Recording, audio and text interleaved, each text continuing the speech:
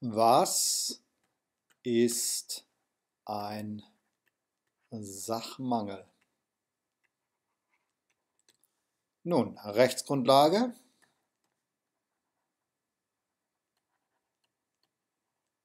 Ist im BGB der Paragraph 434 im bürgerlichen Gesetzbuch.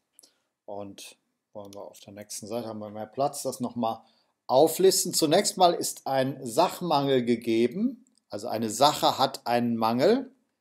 Sache hat einen Mangel, wenn.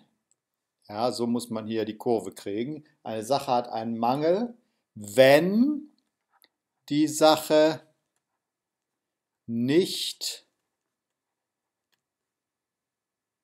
die Eigenschaften hat,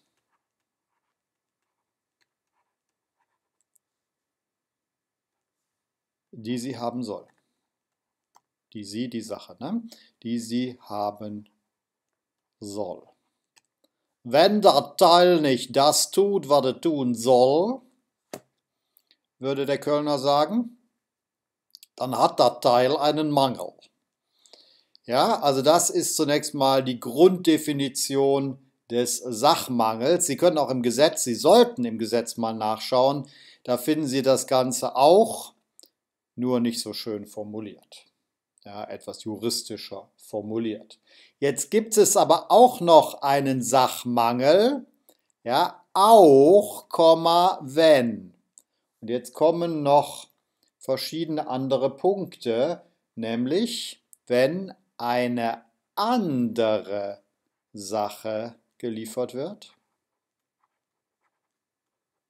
Man wollte das Teil in Blau, kriegt es jetzt in Rot geliefert. Ja, also statt einem blauen Teil ein rotes Teil. Eine andere Sache geliefert wird. Eine zu geringe Menge geliefert wird. Dann mangelhafte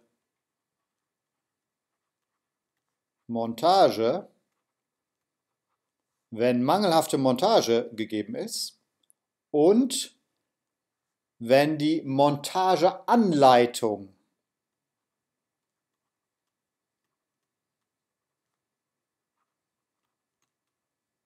mangelhaft ist. Ja, das ist, kriege ich jetzt nicht mehr in die Ecke hin, aber das können Sie gedanklich ergänzen. Was ist der Unterschied? Mangelhafte Montage bedeutet, das Teil ist bereits zusammengeschraubt, nur mangelhaft. Und hier müssen Sie das Teil selber zusammenschrauben. Und das ist heute fast schon die Regel, besonders wenn Sie im Versandhandel bestellen. Ja, da wird ja praktisch die Montage ausgelagert an den Kunden. Deswegen sind die Teile auch relativ billig weil das ganze Montieren beim Kunden passiert. Und da kriegen Sie mehr oder weniger, aus, weniger aussagekräftige Montageanleitungen. Und wenn die mangelhaft sind, auch dann liegt ein Sachmangel vor. Wollen Sie lernen, ohne zu leiden, dann klicken Sie auf den Link unter diesem Video. Der führt Sie direkt zu meinem Schnelllernsystem. Alles Gute, Marius Ebert.